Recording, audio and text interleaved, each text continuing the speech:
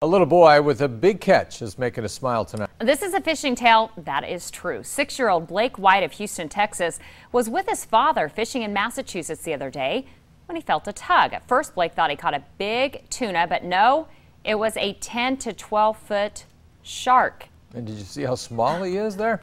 This battle went on for 90 minutes, and Blake openly admits he needed his father's help. Well, I did pass the rod to my dad because it was too heavy.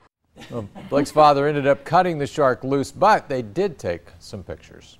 My son would love that. He would think that's the best fishing story ever. It's a shark, Mom. We welcome you to send us your pictures. Just go to WOWT.com slash this made us smile. You can submit your pictures right there.